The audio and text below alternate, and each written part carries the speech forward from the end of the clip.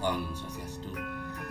Uh, semua niki untuk galah memperkenalkan diri dengan yang yang wasda pandai hidup susilo uh, saking banyak pengenalan bantuan sekoti yang uh, soal kisahnya di tiang ngarian yang sloning mengambil karyan memandai. Uh, memang dari leluhur yang telah warga pandai entah kenapa tiang domon kecimpung di pariwisata. Tapi jaga gina na pariwisata tiang dalar nyarangan dan domon ring pariwisata tiang kecimpung. Uh, jadi ada keinginan di rumah tiang itu ngangun malih prapen karena beberapa generasi dari kakek bapak dan wendan prapen ada tiang generasi tiang ngangun prapen malih mikirin rumah di tiang Pelawar dari adanya prapen yang ring puro uh, melihat ngingat nak menggambar sloning dulu entah kenapa tiang ngebalik nak menggambar sloning ke di satu sisi tiang senang masih kan. nah kidik-kidik senang kan. senang tiang nyerang sloning ke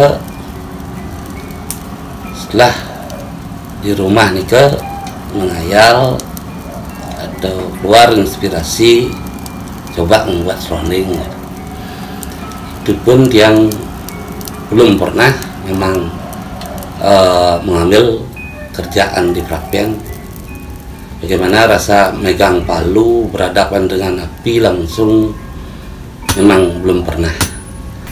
Jadi ada karena punya Prapen di rumah ada keinginan besar untuk melanjuti melanjutkan warisan yang dilubung dari lelangit tiang terpandai jadi ingin tiang rasa ingin mencoba awalnya.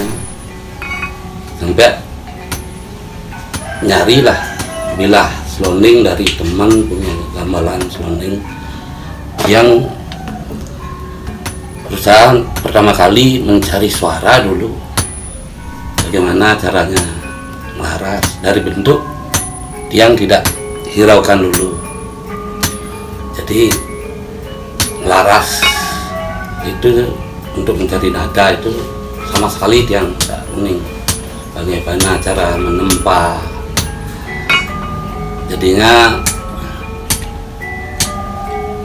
cuman jar yang praktek nanti selamat dikasih tuntunan oleh beliau. Ya Sedungkara berawal dari karya yang pertama. Itu pada tahun dari tahun 2013 atau nggak salah itu saya ambil cuman nyonyong alit dan nyonyong agung aja setelah itu jeda lagi satu tahun dua tahunan sampai 2015 baru terwujud learning itu yang karya pertama gitu. Ya namanya karya pertama belum begitu sempurna sampai sekarang pun saya masih belajar. Uh, Stung Karo dikasih tuntunan sama beliau langit tiang. Kalau tanpa tuntunan beliau nggak mungkin yang bisa membuat cloning apalagi berhadapan dengan api yaitu menjadi rasa percaya diri. Yang sebagai pandai menjadi lebih tebal lagi